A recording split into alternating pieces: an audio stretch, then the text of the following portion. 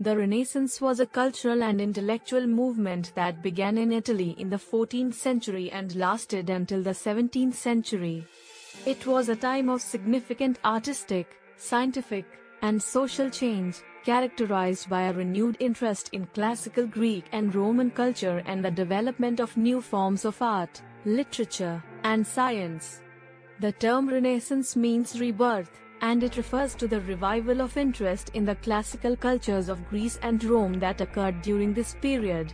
Scholars, artists, and thinkers of the Renaissance looked back to the classical past for inspiration, seeking to emulate the achievements of ancient Greek and Roman artists, writers, and thinkers. One of the most significant developments of the Renaissance was the rise of humanism. Humanism was a philosophical and intellectual movement that emphasized the importance of human values, individualism, and reason. Humanists believed that human beings had the potential to achieve great things, and they sought to promote education and intellectual inquiry as a means of achieving this potential. In the arts, the Renaissance saw significant developments in painting, sculpture, and architecture, Renaissance artists sought to create works of art that were more lifelike and naturalistic than those of the medieval period. They also placed a greater emphasis on perspective, proportion, and symmetry, creating works of art that were more balanced and harmonious. Some of the most famous Renaissance artists include Leonardo da Vinci, Michelangelo, and Raphael. These artists created works of art that continue to be celebrated and admired today, such as Leonardo's Mona Lisa and Michelangelo's David. In literature, the Renaissance saw a significant revival of interest in classical forms of writing such as poetry and drama.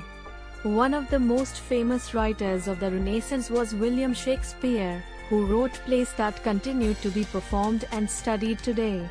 In science, the Renaissance saw significant advances in fields such as astronomy, physics, and anatomy. The work of scientists such as Galileo Galilei and William Harvey laid the foundations for many of the scientific discoveries that we take for granted today. The Renaissance was also a time of significant social and political change. The rise of humanism and the emphasis on individualism and reason led to new ideas about the role of the individual in society. These ideas helped to lay the foundations for modern democracy and human rights.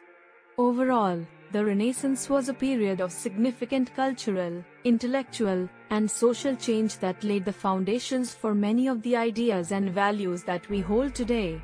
The achievements of the Renaissance continue to be celebrated and admired, and the period remains an important topic of study in the fields of art, literature, history, and philosophy.